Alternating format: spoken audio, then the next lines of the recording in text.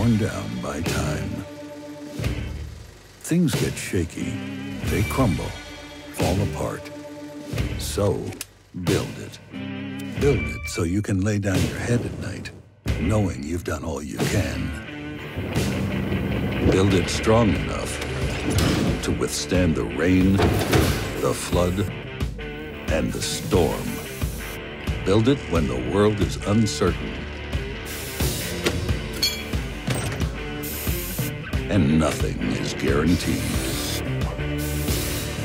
You can build a life that's built to last.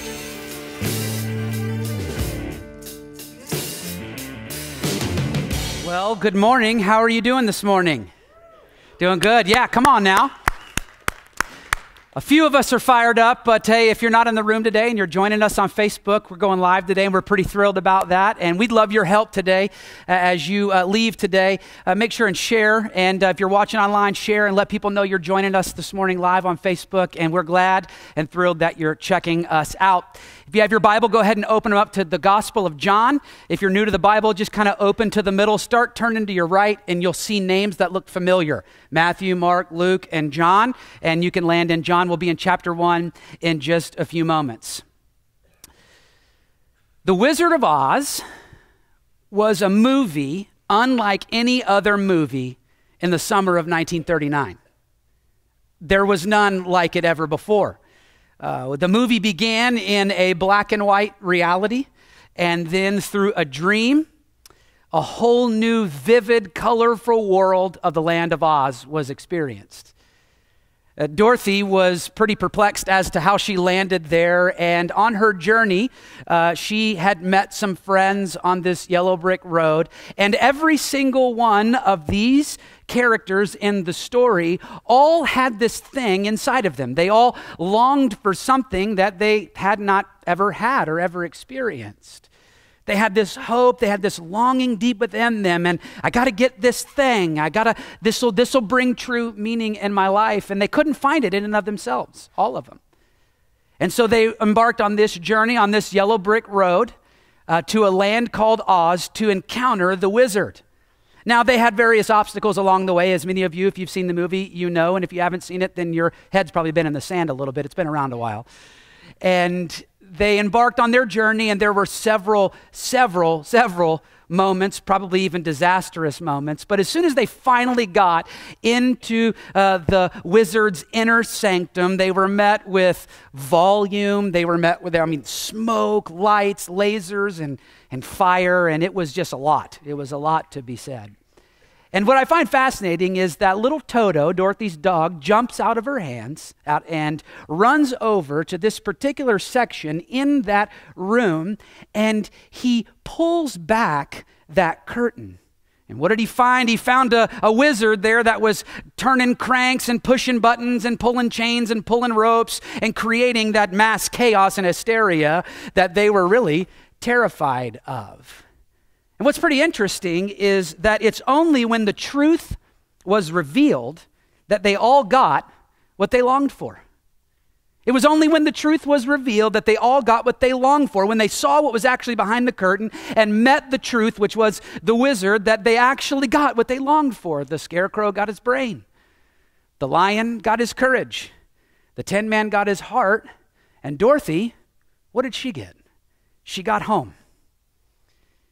Here's what I'm here to say today is that for all of us, we have this longing inside of every one of us. There's something in there that we all long for, that we hope for. Isn't there? Isn't that in your heart, or is that just me? And we've all got this thing, and I don't know what it is for you, and I don't know what it is for me, but we uh, have this longing. And what I want to say today is that this longing can actually be realized for you. You can feel it. You can have this sense of meaning and purpose. And what's interesting is, is that the way in which we receive this actually is pretty counterintuitive. It's not normal how we receive it. It's intuitive because, counterintuitive because it's not a formula that you and I can apply. Like if we do this and this and this, then this happens. It's not really a, a behavior that we can now try, like a new behavior. Let me try that. That will then fill me. It's not a uh, uh, something that you and I can even buy, that we can go out to the store, pick that up, and then that then will fulfill us and give us that meaning in our lives. Well, then what is it? What is it? What's this thing that will fill us that we've been talking about for several weeks now? But what in, and we've laid that foundation to get to this moment right here. That thing that can fill us full of meaning and can give us purpose and can uh, give us everlasting joy. It is the awesomeness of the glory of Jesus revealed to you and to me in his church. What I'm here to say is that when you actually see Jesus and we experience him through what how we just sung, the songs that we sang, worthy is the lamb that was slain. He's so good, he's so awesome. We can't contain it. We sing songs about it, we preach about it. He fills everything that we do when we see Jesus for who he really is. Then that sets a heart on fire for him. And what I would contend is that as He sets on fire your heart and your heart and your heart and your heart and your heart, and He sets our hearts on fire for Him, then He sets our church on fire for Him. And then what happens is as we share just how fired up we are about seeing Jesus and Him changing our life and re- restoring relationships, when that happens, people come to watch us burn and experience the fire that you have and that I have and that we have as a church. Now, I get it. If you're new to church and you got drug here this morning and you're maybe sitting in the seat of a skeptic and uh, you're thinking, yeah, I, I, you're telling me that Jesus, like I've heard of him, he is the space, like he's going to fill that void in my heart. That seems a little simple. And what I would say to you is, I appreciate your skepticism, and that is fair. That is so fair. But the truths of Christianity have satisfied the brightest minds in all of the world. And what I would encourage you today with is could you just possibly lean in, not to even what I'm saying, but to the words of a man who actually I witnessed, saw, the resurrected Christ and the power of his life, and he lived to tell about it and wrote about it, and we get to read his words. Could you just lean into that for a moment? In the Gospel of John, John writes a story about, it's not a story, it's not fictional, it's truth. And he accounts what happened to the, the life of Christ and how he journeyed through the world and impacted people and saved people and transformed people. And in John chapter 1 and verse 14, he tells us, he gives us the truth, the, the, the glory of Jesus revealed and how that satisfies us and fills us and then propels us forward. And what I love about this verse, truth be told, this is the one verse we're going to study today. Now, I got a couple of other verses we'll pop on the screen for you. But this verse is kind of like that bag that Mary Poppins brings to Jane and Michael's house. And like it never ends. The bottom just, you're like, are you going to continue to pull more out of that? It, it just never stops. That's kind of what this verse is like. It's like you can't ever dig to the bottom of it because there's so much there.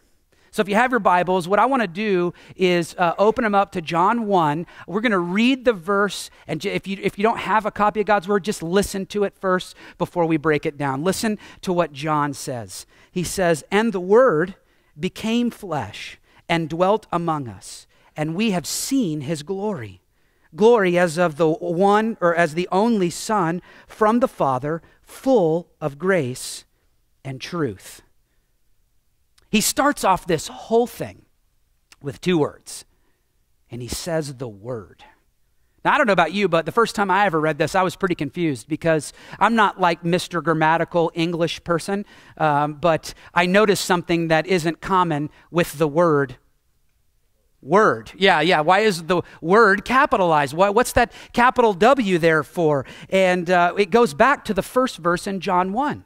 Now, if you have your Bible, you can see it. It says that in the beginning was the Word, and the Word, capital, was with God, and the Word was God, and He was in the beginning with God. So all of a sudden, now in this one verse, we hear some powerful truth that this Word isn't like any other word spoken. This Word is a person, and this Word is Jesus.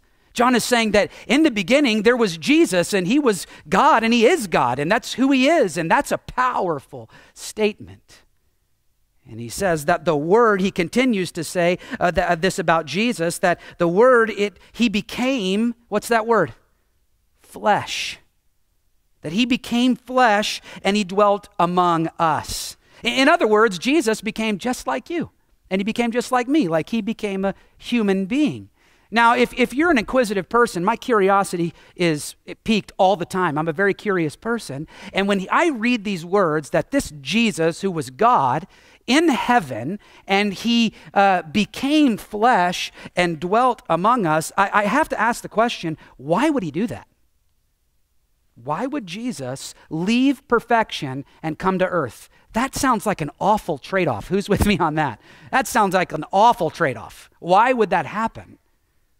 Well, Jesus, or God, Jesus, realized that there was something blocking the creation, his humanity between God and his creation. And, and, uh, and so we understand what, that ha- what that's like. You've probably had in your marriage, you had an argument and there was a relational blockage. You ever felt that before? Or maybe uh, with a friendship or somebody at school, you didn't know you said something that offended them, and then now all of a sudden she's not talking to you or he's not talking to you. That's a relational blockage. We know what that feels like, and we want to do anything we can to make sure that that blockage is no longer there, right? We, we don't don't want that to happen. And God doesn't want that either. And so God solved the problem in Jesus. And it says in actually Second Corinthians, verse 5, it'll be on the screen for you. For God was in Christ reconciling the world to himself. Now, reconciled is not really a word that we use often, but he explains what he means in the next part of the verse.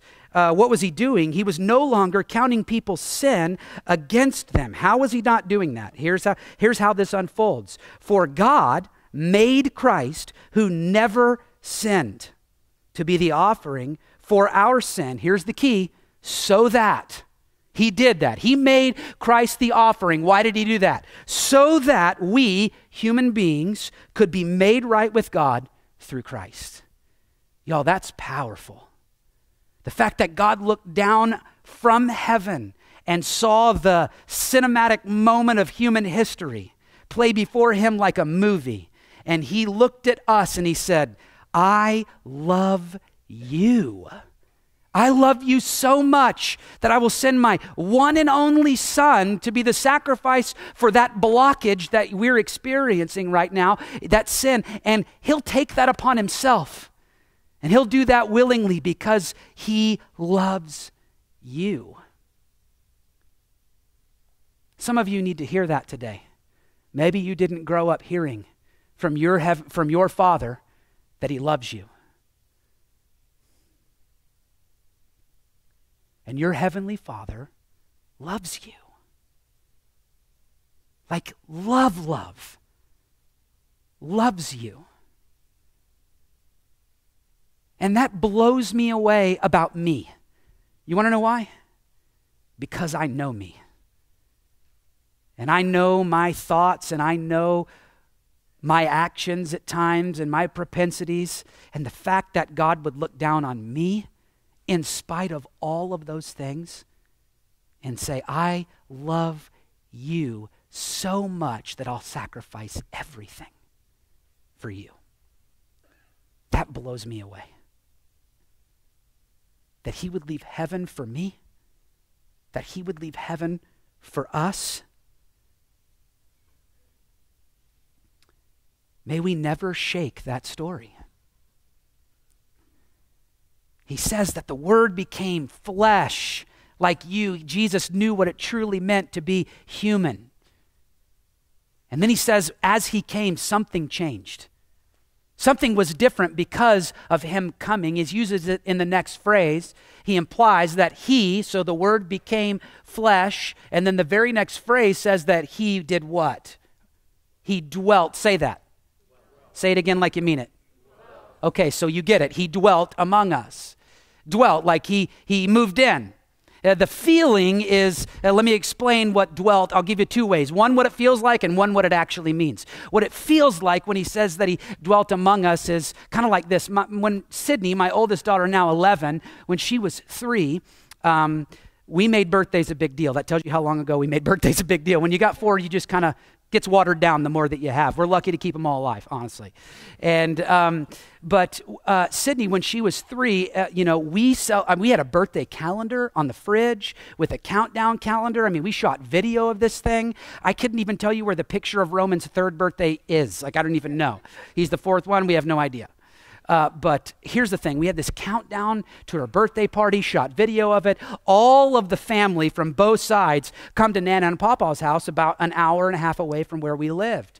And the whole drive there, man, are we excited? And she gets this, I mean, just like, you know, little three year olds get. I mean, they're just, they're overwhelmed with their emotion. And so we built this thing up really, really big. And then when we pull into Nana's driveway and she runs, like she couldn't get her seatbelt unbuckled fast enough, and she runs to the front door and Nana opens the door, and Sydney walks in with those big chubby cheeks that she had, and that three year old toddler voice. that sounds like you got a frog in your throat. Like it was like she walks in the door with arms wide open like this and says, I'm here, and stands in the middle of the room, and it's as if the party can start because I'm here. The reason that we're all gathered today is for little Miss Sydney and the Dora birthday party.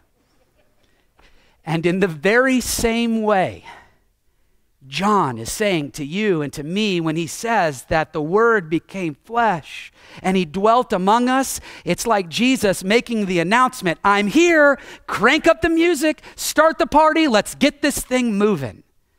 It's powerful. It's even more powerful when you know what it literally means. It's the word dwelt, it means tabernacled. Now, I couldn't tell you the last time I used that word. Actually, I could. It was last Sunday. But in normal moments, I, uh, nobody uses that word. But what it does is it actually draws us back to the Old Testament in the book of Exodus that we studied last week. You see, God desperately wanted community and connection with his people. He wanted that. And before he sent Jesus, he made this thing called the tabernacle. And he said in Exodus chapter 25, verse 8, Let me, let them, sorry, the people of Israel, make me a sanctuary that I may dwell, same word, in their midst. What's fascinating about living in our modern world is that people have recreated the tabernacle so that you could see it. I want to show you what it looks like. And uh, this is actually somewhere I think in Turkey, and this is what this this is built to spec what the tabernacle would have potentially looked like. Obviously, these are modern resources in a non-modern era, so you got to kind of use your imagination a little bit. And one artist uh, drew a rendering of what it would look like when the, the nation of Israel was around it. Look at that, some two million people, and this tabernacle would be placed at the center of their camp when they would when they were wandering in the wilderness for 40 years this tabernacle would be at the center of that and that fire is the very presence of god falling on that place and when he, eh, eh, the tabernacle used to be the place of scripture. It used to be where the Bible was contained. It was the place of revelation, uh, where uh, God would be revealed. It was the place uh, where truth would happen, where the sacrifice for the forgiveness of sins was done. It was the place uh, of forgiveness. It was uh, a place uh, where they would focus their worship. One author said that the tabernacle, in the midst, you see it, in the midst of the people, served as a vivid sign of the divine presence in the wilderness that was moving with them and leading them into the promised land. And here's what's incredible is that now God doesn't fall on a place on the backside of the desert that you can't go find anymore. God's and his presence and his glory falls on a person. And it falls on his son, Jesus Christ. And so now, it's not a place, but it's a person that we run to for forgiveness because he was the sacrifice. Jesus is the living word and the revelation of God to mankind. Now, Jesus is the uh, focus of our worship, of our attention, and of our affection. And it all changed because he became flesh and he dwelt among us. And what makes this so relevant for you and for me? What makes this thing incredibly relevant for us and makes it more real is that you and me, um, by this dwelling among us, it means that Jesus knows what it is like to be fully you. He knows what it's like to be a human being. It means that Jesus is relatable. Did you know that there is no other religion in the known world where God became one of the creation to relate to them? Every other world religion is a quest to get to God. And the story of Christianity is God's quest to get to you.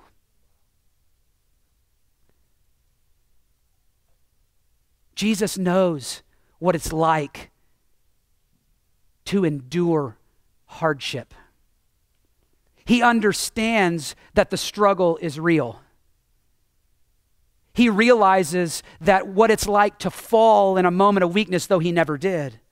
He understands just how berating the devil can be in our lives. Temptation, not daily, let's just be real. It's sometimes moment by moment by moment. And he understands that. He, he knows what it's like to live this human experience, and he gets all of that. And it says in Hebrews 4 For we do not have a high priest who is unable to sympathize with our weaknesses, but one who is in every respect has been tempted as we are, yet he never sinned. Jesus Christ has faced every struggle the human heart has ever faced and never failed. He has faced everything that you, has, you have faced in your life. Do you mean everything? I mean everything. Everything. And what's even more powerful, y'all, is that it's not just about him, his presence falling in glory on that tabernacle, and now the glory of Christ revealed to us is powerful. But what's so incredible is that the same power that worked in Christ that helped him overcome weakness, overcome temptation and sin, according to John 14, 17, is available to believers because the Spirit dwells in us and not in a tabernacle. It dwells in you, and that power and resurrection power and overcoming power is in you. It's not in a place. It is found in the Spirit of God inside of every single believer. You need to slap your neighbor and say, I hope you got it. Man, I hope you got it. Because it changes everything. It changes everything. John goes on to say that we have seen his glory. Whew. Y'all, I'm already worn out. I'm not even halfway through. We, we have seen his glory. this is ridiculous. Because he, he interrupts his account here and he, he's telling about Jesus. He's like, Y'all, I've seen him. He actually says in 1 John 1, he writes later, uh, that which we have heard, which we have seen with our eyes, which we've looked upon and have touched with our eyes, the life that is made manifest, we've seen it and testify to it and proclaim to you this Jesus. This is not, uh, guys, in the last couple of weeks, if you've tuned in online, we've been up in the air. We've been talking about big topics, honestly, what scholars call theological constru- uh, constructs. We're, we're getting a theological framework to move forward as we build something on top of what we already have. And uh, it's really up here. And what he's saying is listen, this is not ethereal. This is not theory. This is not a bunch of people nerding out in a room coming up with a book here. It's not like that. He says this is real. We saw him with our eyes, we touched him with our hands, we heard his voice. And if you are a skeptic today, listen to the eyewitness testimony of the man who said, I saw him with my own eyes. I experienced his glory firsthand. We have seen his glory. To which I begged John, as if he was right next to me in my office this week, What did you see, man? What'd you see? What, what, what, what? My brain, you know where it went? Celebrity entourages. Like, does Jesus have an entourage before he walks into the room? This isn't going to work. Okay, we right here, Jesus isn't going to like this and he's not going to like that. And uh, we got to get the temperature just right. Let's make sure he's got his Skittles. He only likes purple and brown M&Ms. Make sure that's sweet tea because we all know Jesus only drinks sweet tea. If he doesn't like it, it's fine. He'll turn water into wine. It's no big deal. But we just want to set the stage, make sure he doesn't get a sunburn. I went to P. Diddy. I don't know why, but that's where I went. Does Jesus have an entourage and an umbrella man? That just like before he ever walks in a room, he's here, he's here, he's here, he's here. Does he have that? No, we, no, no. Uh, quite the opposite. Jesus is not a celebrity. He was actually hated. He didn't have an entourage like that. So, what did he see? Jesus was born to a peasant woman and a carpenter. Dirt under the fingernails, teenage mother, he basically lived like a peasant for his entire life. His appearance, guys, he did not shop on Rodeo Drive. I mean, he wasn't even Old Navy. His appearance, Isaiah tells us, he's common, just average, maybe even looking below average. His friends, they basically were people who were embezzlers, tax collectors and fishermen. Not like the hottest crew to run around with. In every city that he went to, prostitutes, sick people, lame, people who didn't uh, outcasts of society. Like, listen, his the crew he ran around with, your crew's probably cooler than theirs. What did he see? His entire circumstances of his life were in no way ever going to be described when you looked at Jesus as glorious. Nobody would have ever associated Christ and glorious on the, when he walked on this earth when just looking at him. So, what did they see? When they saw Jesus, they saw a humility they'd never seen before. They saw a purity of heart like none other. When they looked into his eyes, they saw tender kindness. They saw the way that he treated people. He was compassionate, but yet standing for truth and justice all at the same time. When they looked at Christ, they saw things that they had never seen before. They saw encouragement and forgiveness and courage, availability and attentiveness, even to the littlest of children who would walk up to him. When they looked at him, they saw wisdom. They saw, when they looked into the eyes of Christ, what John would later say in this verse, in verse 14, the only, the glory of the only Son from the Father. What they saw is what the writer of Hebrews would write in Hebrews 1 3. He is the radiance of the glory of God, the exact imprint of his nature, and he upholds the universe by the power of his word. When John and everybody and the disciples, when they saw Christ, they looked into the very eyes of God. They saw God. Man, lots of people in our world want to know what God looks like, and I would tell you what God looks like is Jesus. He is the face of the Father in heaven. When we see Jesus, we see what God is like. And I've been waiting all week to get all this stuff, all that we've left up in the air, and get it on the ground for us. And put grit under our fingernails, calluses on our hands, and get a little sweat on our brow, and say this to you that Jesus is the glory on the ground.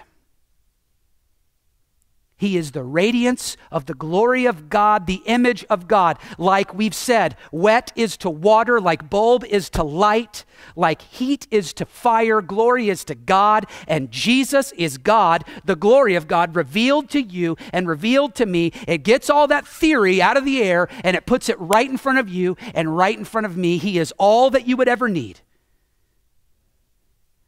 He is the glory of God on the ground, face to face, in personality, with eye color, hair color, and with his own body scent. It is Jesus, the glory on the ground. And that fuels the fire of a person who wants to live vertically. And it fuels the fire of a church that wants to be a vertical church. And if that doesn't get you fired up, then your wood is wet.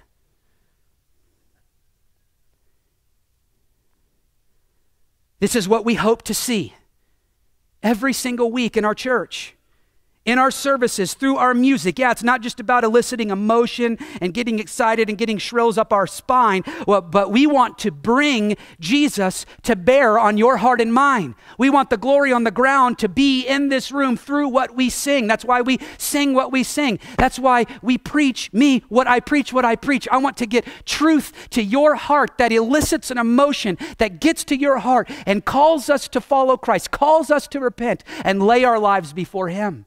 That's what we want to see in our lobby and at our cafe and greeting you at the door and all throughout our ministries. We want to lift up the powerful, life changing presence of Jesus in and through this church. We want it to be a resounding gong when we leave this place that echoes in our ears all week long, longing to be back into God's house and to experience the glory on the ground in this moment through what we're doing.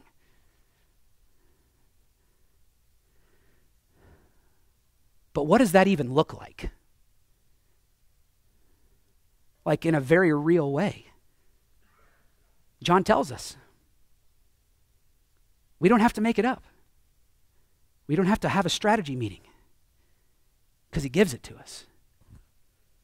And he tells us right here that when they looked at Jesus, very last phrase, they saw the glory of Jesus. What does it say? Full of grace and truth. When they saw Jesus, they saw a man full of grace and full of truth. Can I tell you how awesome this is? Write this down. Hold on, don't before you write it down. Just hear me. Has anybody ever said you're full of it? Have they to you? Positive or negative? Mostly negative, right. If anybody's ever said, man, you're full of it, you're like, whoa, full of what? And then you just probably walk away because you don't want to hear what they think you're full of. This is positive. Jot this down. Jesus is full of grace. He's full of grace. And grace is God's, hear me, God's movement towards you, motivated by his love. Grace is God's movement, his love for you and for me. And Jesus is so full of this grace that it overflows. Like a like a 14-year-old carrying a 5-gallon bucket full of water, you can't help but spill it, right? That's how Jesus is. He's like a 14-year-old carrying a bucket a 5-gallon bucket of water full of water and everybody's like, "Don't spill, don't spill." And he's like, "Oh, I'm all about spilling, man. Let's move this thing." And he's overflowing, sloshing over towards you and towards me with grace meeting us at our deepest moment of need, hear me, and He snatches us from the hands of sin. That's what His grace does. He picks us up in the moment where we blew it the most, and He meets us in that moment, and His grace never runs out. Somebody needs to hear this today.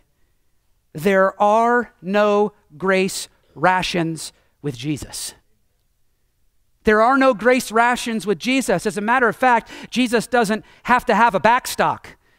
He's not having to go back to the cupboard and go grab more in his who he is. He's full of grace. He's full of it. He's sloshing over for the one who feels that their sin is too dark, their shame is too real, the cycle is too tough to break. There is enough grace right for you, right for you right now. Right now. There's grace for you right now. God is reaching towards you through the person of Christ, reaching down and saying, Listen, it's okay not to be okay. It's okay not to be okay. Let me just reach down and meet you where you are. And your faith is your hand reaching up to God and believing that that grace is really for you.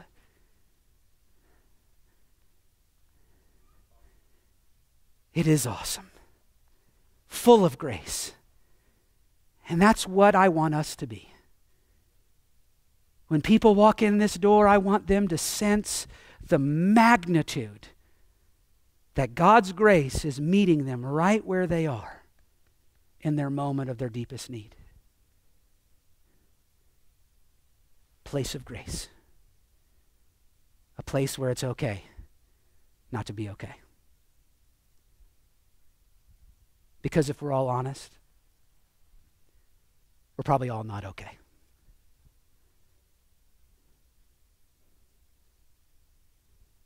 But when you get Jesus, you get grace. And that's great news. But you also get truth. If grace says it's okay not to be okay, then when you get Jesus, you get truth, and He's full of truth. He's full of grace and full of truth. What that says is it's okay not to be okay. That's grace. But it's not okay to stay that way. That's truth. What you get when you get Christ is truth. Later in the Gospel of John, Jesus would say of himself, I am the way, I am the truth, and I am the life. And nobody comes to the Father except through me. And that's truth. He says that I am the way. I am the way to life. I am the way to everything that you would ever need. I am the way to a changed heart, the freedom from hurt, the everlasting joy, the way to unending peace and total transformation. I am the way to heaven. I'm the way. And I am the truth. The truth. The truth about how God feels about you and how he feels about me. The truth that he looks at you and he is not put off by how he sees you today, but he's moving towards you because he loves you. He loves you. The truth about not just how he feels about you, but who you are. You aren't what has been done to you. You are not what you have done or what you're doing in this moment. You are, by receiving the grace of God meeting you where you are, you are forgiven, you are redeemed, and you are set on fire to burn for Him for your life. And you are who God says you are. The truth about what He's doing in His church.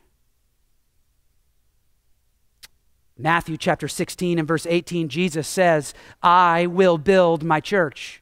Now, that'd be pretty egotistical if I was saying that. But Jesus is not an egomaniac. He is God in the flesh, and he can say whatever he wants. And he's got a mission.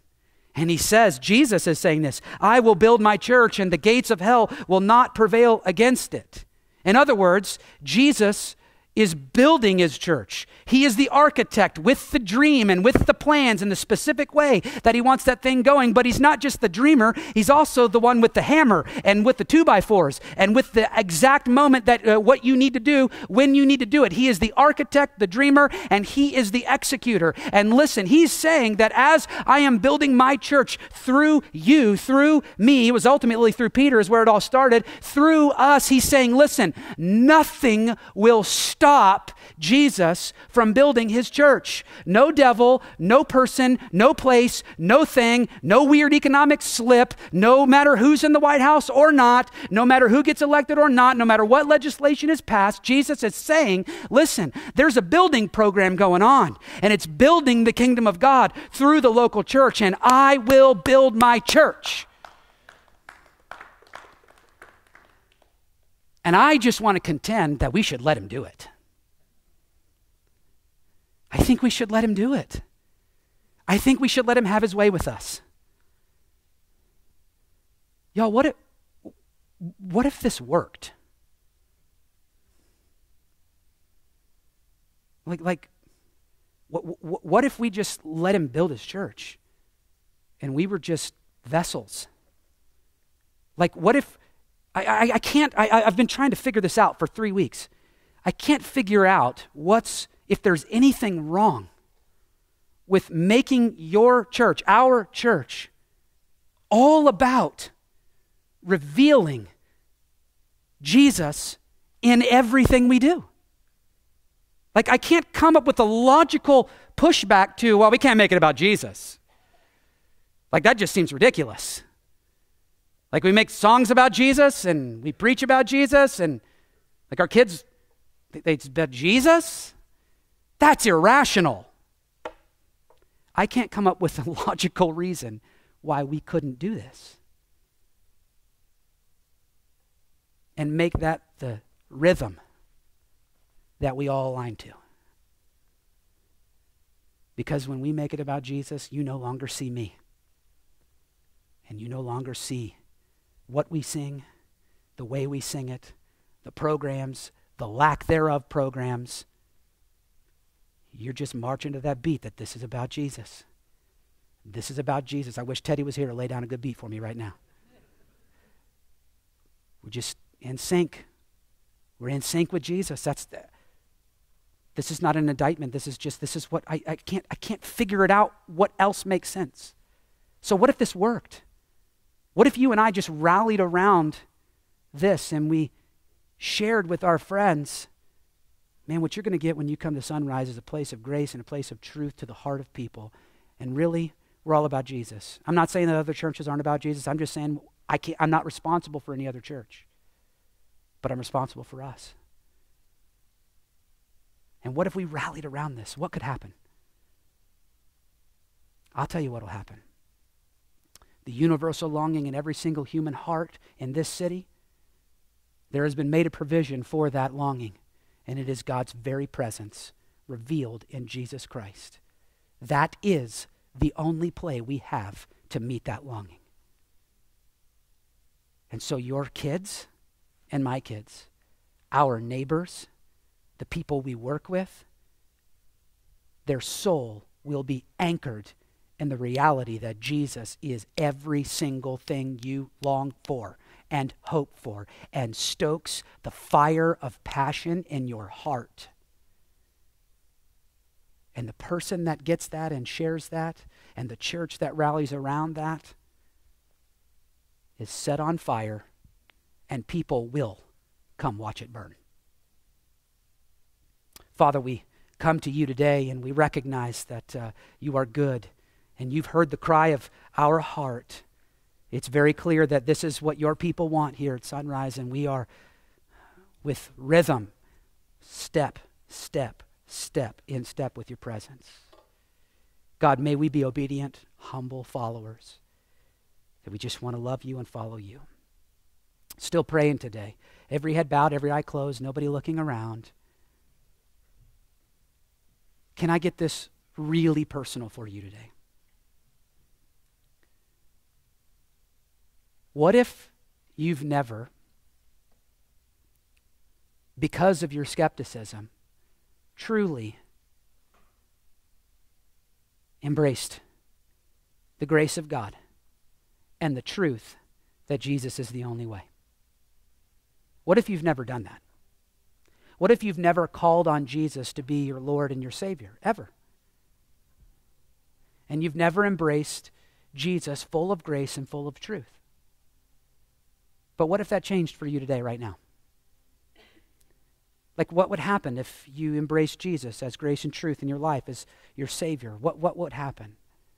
Well, that longing that you have, that I have, that we've all had, my guess is if you lean into Christ and you accept Him into your life, I don't have to guess, I know because I've done it. That longing, it gets filled. It gets filled with Jesus. And you get purpose. And He begins to unload a plan for you in your life, and you've got a place to belong in His church, a community to rally around you, to support you, and to help you follow Jesus as best as we can. So, in your skepticism, could I ask you this question? What if, I know what you're thinking, well, what if you're wrong? I've given my entire life to this. And many people who have gone before me have done the very same thing. Can I ask you a question? What if you're wrong? What if it is true? What if He really is full of grace and really is full of truth and He really can save you and set you free and give your life everlasting joy and peace and transformation that you've never experienced before? I'm here to tell you it works. But you got to believe it. And I want to give you an opportunity right now to say, you know what? I'm sick and tired of being sick and tired, and I want to embrace Christ, full of grace, full of truth in my life right now. And all you have to do is something very simple admit that your way isn't working and that you're a sinner and that Jesus died and rose again to save you from your sin. And confess Him, your Lord. And the way we like to confess Him around here is just with a simple raise of a hand. If you've never done that today, would you raise your hand and just say, I'm embracing Christ, full of grace and full of truth. I've never done this before, and I want to embrace Him right now. Online today, if you're making that decision, just simply tell us in that comment, I am giving my life to Christ. Be that clear. I'm giving my life to Christ today. I'm giving my life to Christ. Embracing Him, full of grace and full of truth. I got your hand, ma'am, right over here on my left, your right. I got you. More importantly, not do I got you, but God's got you. He loves you.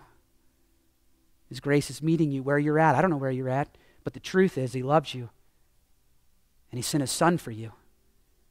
And now you have everlasting life. Who else? Full of grace, full of truth. I want to embrace Christ by faith. What a holy moment. What we're going to do in this moment, for those of you that made a decision online or in this room, what I want you to do, if you didn't have the courage to raise your hand, it really is just you confessing to God. And I'm going to pray, and you just say something like I'm saying. My words aren't powerful, it's your obedient heart that makes all the difference.